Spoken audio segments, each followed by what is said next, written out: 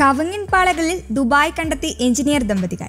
നാട്ടിൽ സുലഭമായി കിട്ടുന്ന കവിങ്ങിൻ പാളകൾ കൊണ്ട് സ്വപ്നങ്ങൾ നെയ്യുകയാണ് വിദേശ ജീവിതം മതിയാക്കി സ്വന്തം നാട്ടിലെത്തിയ യുവ എഞ്ചിനീയർ ദമ്പതികൾ. കാസർഗോഡ് ചാലക്കടവിലെ ദേവകുമാർ നാരായണനും ഭാര്യ കൊല്ലം തേവനൂർ സ്വദേശിയായ ശരണ്യയ്ക്കും പാളകൾ കൊണ്ടുള്ള വൈവിധ്യങ്ങളായ ഉൽപ്പന്നങ്ങളിലാണ് ഇപ്പോൾ ദുബായ്. ബിടെക് യോഗ്യതയുള്ള ദേവനാരായണൻ രണ്ടായിരത്തി ഒൻപതിൽ നോക്കിയ സാംസങ് കമ്പനികളിലും ജോലി ചെയ്തു. രണ്ടായിരത്തി പതിനാല് മുതൽ ദുബായിലായിരുന്നു.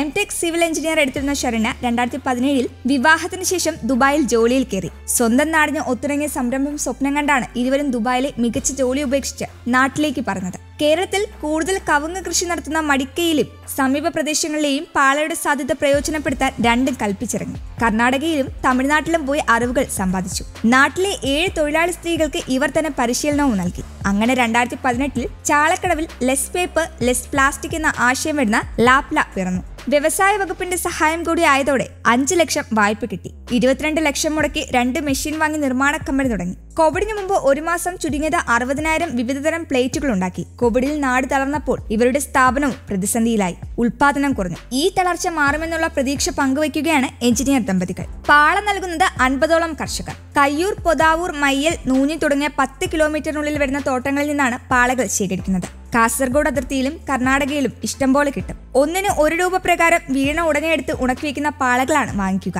പൂക്കുല വരുന്ന നവംബർ മുതൽ മെയ് വരെയുള്ള സീസണിലാണ് പാളകൾ കിട്ടുക. കറുപ്പ് വീഴാത്ത പച്ചപ്പാളകൾ എടുത്തു വെക്കാൻ തോട്ടം ഉടമകളോട് പ്രത്യേകം പറയും. പാളയിൽ വിടരുന്നത് പതിനെട്ട് ഇനങ്ങൾ. കല്യാണങ്ങൾ സമ്മേളനങ്ങൾ റിസോർട്ടുകൾ എന്നിവയ്ക്കായി ബാഡ്ജുകളും പത്രികയും പാളയിൽ നിർമ്മിക്കുന്നത് ഇവിടെ മാത്രമാണ്. ബാഡ്ജുകൾ കൂടുതൽ പ്രകൃതി സൗഹൃദമാക്കുന്നതിനായി ഇപ്പോൾ യു വി പ്രിന്റിംഗ് ആണ്. സ്പൂൺ ഐസ്ക്രീം ബൗളുകൾ പ്ലേറ്റുകൾ പാഴ്സൽ ബോക്സുകൾ ചെറിയ ഡ്രോയിങ് പാഡുകൾ ക്ലോക്കുകൾ തുടങ്ങി പതിനെട്ടെണ്ണം ഉൽപ്പന്നങ്ങൾ പാള കൊണ്ട് നിർമ്മിക്കുന്നു. കാസർഗോഡ് മുതൽ കോഴിക്കോട് വരെയുള്ള ഹൈപ്പർ മാർക്കറ്റുകൾ കടകൾ എന്നിവിടങ്ങളിൽ പാപ്പിളയുടെ പാളവിസ്മയം ലഭ്യമാകും. എല്ലാം ന്യൂജൻ മോഡലുകൾ.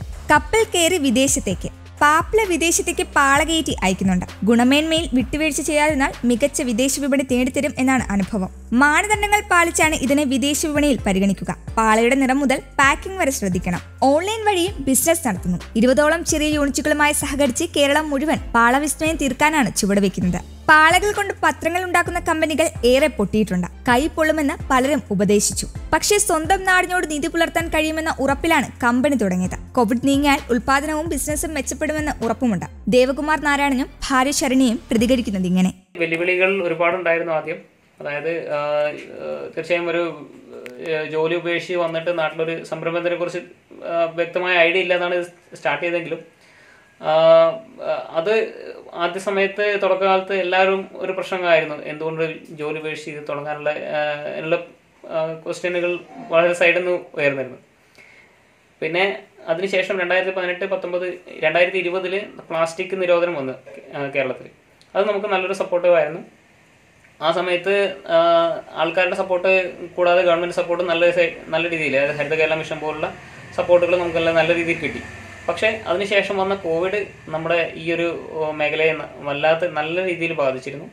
അത് ഈ സമയം വരെ രണ്ട് വർഷത്തോളമായിപ്പം ആ കോവിഡ് പ്രതിസന്ധി നല്ല രീതിയിൽ ബാധിച്ചിരുന്നു. അത് നല്ല രീതിയിൽ ഇനി മാറി വരുന്നുണ്ട്. അതിൽ പ്രതീക്ഷ തന്നെയാണുള്ളത്. ഈ ഒരു ഈ ഒരു ഉൽപ്പന്നത്തിൽ ഒരിക്കലും ഒരു പ്രതീക്ഷ കൈവിടുന്നില്ല. കാരണം ഇത് ഭൂമിയെ മലിനപ്പെടുത്താത്തൊരു ഉൽപ്പന്നമാണ്. ഒരിക്കലും അത് നമ്മൾ എന്താ പറയുക വീണ് കിട്ടുന്ന ഒരു ഇല അതുപോലെ തന്നെ മോൾഡ് ചെയ്യുന്നതുകൊണ്ട് കൂടുതലായിട്ട് ഇതിന്റെ അകത്തൊന്നും ആഡ് ചെയ്യുന്നില്ല.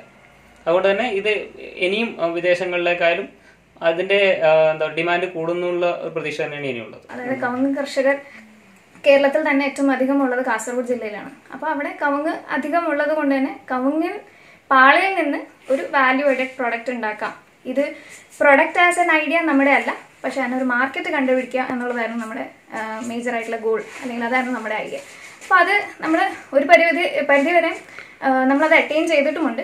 പാപ്ല എന്ന ചെറിയൊരു അധികം അധികം അല്ലെങ്കിൽ കുറച്ച് ആൾക്കാർക്ക് ഇടയ്ക്ക് ഇടയ്ക്ക് അറിയപ്പെടുന്ന ഒരു ബ്രാൻഡായിട്ട് മാറിയിട്ടുണ്ട്. News desk Kerala Kaumudi